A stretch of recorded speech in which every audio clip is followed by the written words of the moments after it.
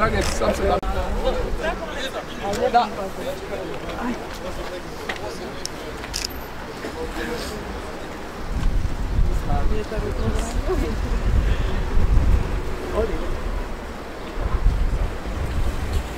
nas prati već od kad smo počeli ovu priču sa ženskom rukometnom reprezentacijom koja se vrlo lijepo razvija i nadam se da će biti dalje. Imamo vrlo jednostavni cilj. Cilj je doći na svjetsko prvenstvo, isto tako na svjetskom prvenstvu ostvariti plasman koji bi nam omogućio kvalifikacije za olimpijske igre. Prema tome, e, bez obzira koji smo, bez obzira šta i kako je, daćemo sve od sebe da to i ostvarimo. Kratko predstavljanje Slovačke, jedna ozbiljna reprezentacija. No, Slovačka je vrlo ozbiljna reprezentacija koja ima e, dosta iskusnih igrača i uz njih par mladih koji su izuzetno kvalitetni. E, recimo naj, najbitniji pucač igrač je Barbara Lanz koja igra u Moša Mađarova je već e, dvije, tri godine najbolje strela s Mađarske lige Ljevakinja, čvora od 20 godina. E, na golu im je Viktorija Montoje koja je prošla školu Đera koja ima mađarsko državljanstvo i slovačko i dugo je branila u Đera, branila za omladinsku reprezentaciju u Mađarskoj, sad je u njihovoj seniorskoj reprezentaciji. Karin Bujnova, njihov kapetan, igra u Zaglebi iz Lublina. E, Rajhnova je pet godina igrala u Viktoriji Guardes i u Španjolskoj, u Španjolskoj ligi oba dva vanjska također, Habankova, desni vanjski, izuzetno kvalitetna je Kišvar, Trunkova, Pilce, koji isto igra u Kišvar u Mađarskoj, Reka Bizikova koja je isto ima dva lijevo krilo, dva državljanstva, igrala je u Mađarskoj ligi, Štefanikova koja je sad potpisala za Rumunjsku, e, još dva dobra krila koja dolaze iz, iz Mihalovca, Popovcova i Dvoržakova. Tako da je to vrlo, vrlo, vrlo kvalitetna reprezentacija. Ono što im daje posebnu notu je još da imaju za trenera zadnje dvije godine Carlosa Duenjasa.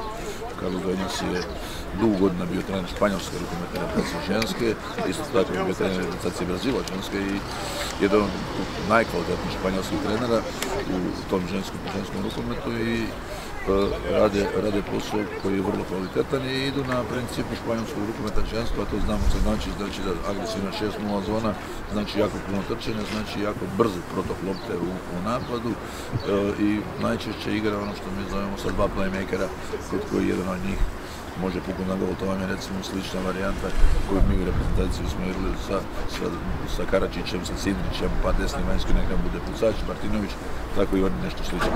slično. Igra se u Šali koji je njihov centar njenskog rukometa koji se sad ponovo vraća u to priči, znači bit će puno dvorana. E, to je samo još jedan poticaj više za sve nas, da damo, da damo svoj mač imati problema, evo što imamo problem u ovom trenutku najviše u obrambenom bloku, jer nam fale dva igrača s sredine obrane, znači fale Ana, Ana Debelić i fale Čamila koji su bili sredina obrane i tu moramo proraditi na toj priči. Radili smo naravno već ko će, koji će igrači biti kako ćemo to postaviti.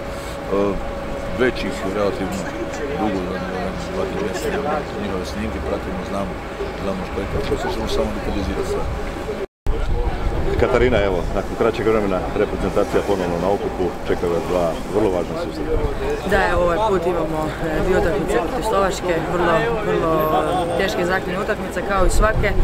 Svima je čast biti ovdje i nastupati za Hrvatsku. Ja evo vjerujem u ove cure, naravno nismo svi, svi na okupu, ali to ne treba biti e, ne trebamo se bojati toga, moramo samo biti 200% i svaka odraditi svoj zadatak i ja vjerujem da, da, da će sve ići po planu od ovih eh, djevojaka koje nema, dvije su zapravo vrlo bitne za obranu. Hoćete li, imate li tu rješenje? Treba pokriti pozicije Ane Debelić i Čamile. Pa naravno, biti će veliki izazov i biti će teško, ali ja vjerujem u ove cure koje su ovdje i nadam se da ćemo, da ćemo uspjeti se pripremiti ovih par dana za, za, to, ali kažem, ja vjerujem i mislim da, da, da ćemo se kvalificirati na svjetski prvenstvo. S obzirom da je sezona u punom mijeku u ovom trenutku, kako vam gledaju cure, jeste li onako baš 100% unutra? Pa jesmo definitivno, ovo je sad naj, najbitniji zapravo dio sezone i mislim da su svi u dobroj formi i, i vjerujem da ćemo to i pokazati. Ovo bi trebao biti samo prvi korak prema onom nekom konačnom cilju, a to je Pariz, da ne? Tako je, tako je, snovi su veliki ovoga, i ovo je prvi korak da ih se ostvari. Puno sreće. Hvala.